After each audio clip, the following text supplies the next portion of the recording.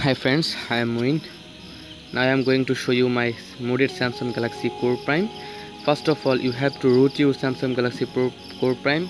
For this you have to follow the rules of rooting your phone that are given in the group files. You can check it down. Then you have to download Xposed installer from google. That the link i given then install it then open it then click on framework then click on install or update. Then you have a you may have a pop-up. You have to click on the normal then after some time installing framework properly your phone will reboot it. Then after reboot you open expositor again then click on download. You can download many of the modules that help you to customize your phone properly. Here you can see I have downloaded many many modules. And that one of this Eggstar. Eggstar is to customize your phone just like lollipop. Here you can see. Okay. So it is looking very good. You can play lollipop land. Okay then you have to download Flutter bar indicators. Here you can see I have moved status bar. And then you have to download Flutter colored bars.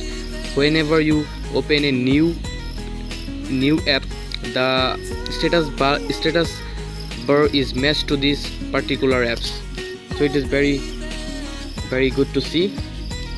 Here you can see the bar is okay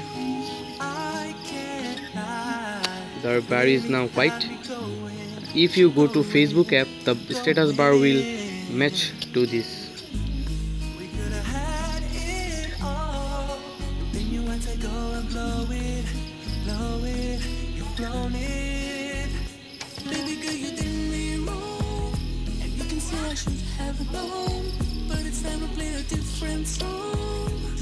So it is doing well. Here you can see I have moved notification panel. You, for this you have to download this monster UI you download monster UI and GravityBox KK for this. You can see I have moved moved my power menu adding extra menu.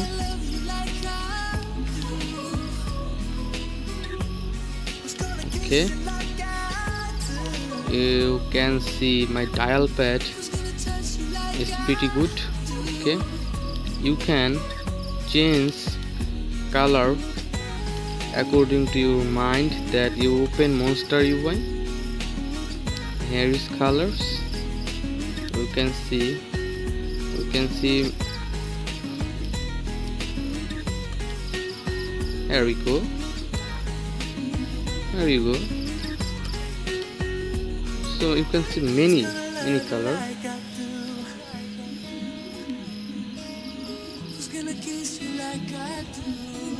System UI for this reason you have to uncheck this box because if you check this box your notification recent panel will not open. So first of all make sure that your this this box is unchecked. After that you have to most important thing is that you have to check check this box. Check this box and then reboot your phone and then your phone will make the changes.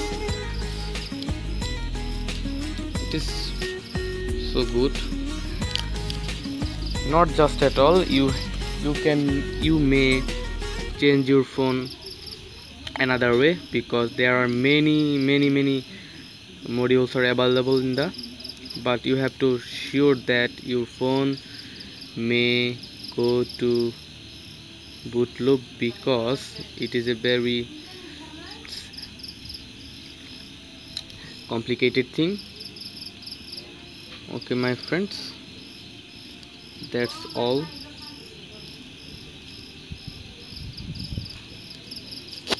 Here you can see.